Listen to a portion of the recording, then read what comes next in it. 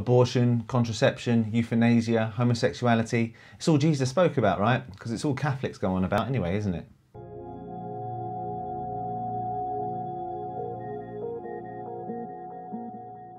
You'd be forgiven for thinking that those issues were all that Jesus ever talked about by the way that some parts of the Catholic Church go on about them. Particularly at this time of year, um, it's October and we're ramping up for another US presidential election. However, we can't really find Jesus talking directly about a lot of those issues in the Bible. What he does talk about, though, is compassion, mercy, and as we read in this Sunday's text, this Sunday's Gospel, forgiveness. Both the first reading from Ecclesiasticus and the Gospel go hard into the importance of forgiveness. In fact, the prophet of the Old Testament reading really goes into one about how the person who does not forgive, they will not receive any forgiveness from the Lord. You know, you don't really get the prophets ranting about a specific sin like this guy rants on forgiveness. And then in the gospel, Jesus is asked a, a, question like, Jesus, how often should I forgive my brother? Seven times? And Jesus' response is no, 70 times seven or 77 times. You see, we live in a society that wants to call itself tolerant. We want to be tolerant, particularly to different lifestyles, different cultures, and all that sort of stuff. But we're not really tolerant of mistakes.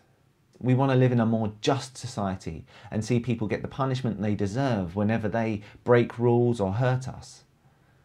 But that's not the society that Jesus wants to build, the kingdom of God, where there is unending forgiveness.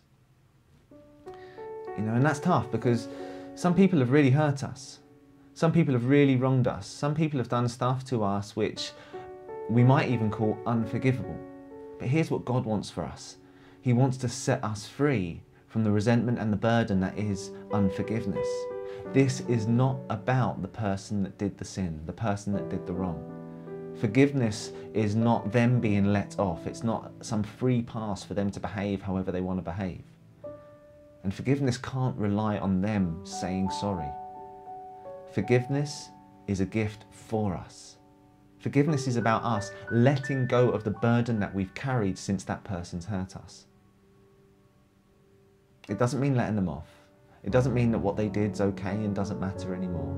It doesn't mean that we'll instantly be totally healed from the internal or external wounds of the way we've been treated.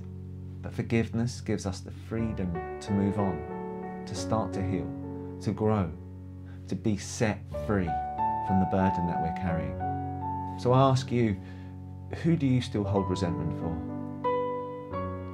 Who haven't you forgiven? What are you waiting for? For them to say sorry? For them to make amends for what they've done? Perhaps it's time just to forgive, not for them, but for you.